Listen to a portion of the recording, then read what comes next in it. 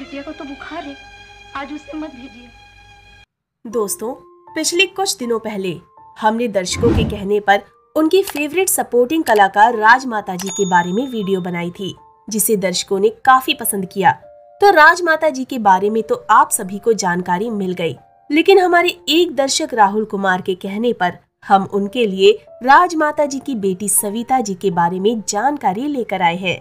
दोस्तों, जैसा कि हमने आपको बताया था कि राजमाता जी के तीन बेटे थे और एक बेटी सविता, जिन्हें सुधा के नाम से भी जाना जाता है।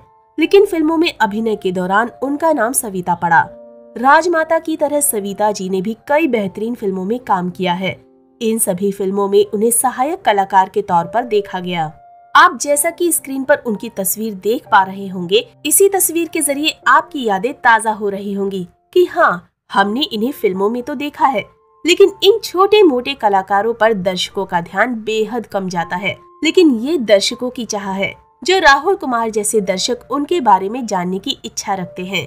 सविता जी ने अपनी माता राज माता जी के नक्शे कदम पर चलते हुए अभिनय की दुनिया में कदम रखा और फ़िल्मों में सहायक कलाकार के तौर पर काम किया, जिन्हें फ़िल्मों में लाचार बहन, दादी, माँ या फिर रास्ते पर भीख मांगते हुए भिखारी के किरदार में भी देखा जाता रहा।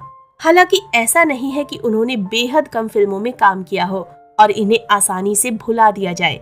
इन्हें हर साल 20 से 30 फ़िल्में ऑफ़र होती थी और ये उन फ़िल्मों में छोटी मोटी भूमिकाओं में नज़र आती रहीं और ढेरों फ़िल्मों में काम किया। वहीं अगर उनकी निजी लाइफ के बारे में बात की जाए तो इन्होंने हिंदी सिनेमा के सपोर्टिंग एक्टर जमुना दास जी से विवाह किया था।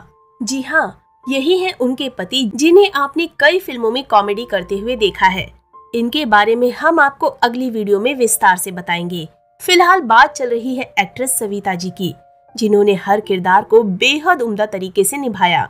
हालाँकि वक्त के साथ इन्हें हिंदी सिनेमा धीरे धीरे भुलाती चली गई और एक वक्त ऐसा आया कि उनके बारे में किसी तरह की कोई भी जानकारी सोशल मीडिया पर उपलब्ध ही नहीं रही। यहाँ तक कि उनके बारे में लोग ये तक नहीं जानते हैं कि आखिर फ़िल्मों में नज़र आ रही इस सपोर्टिंग कलाकार का असली नाम क्या है।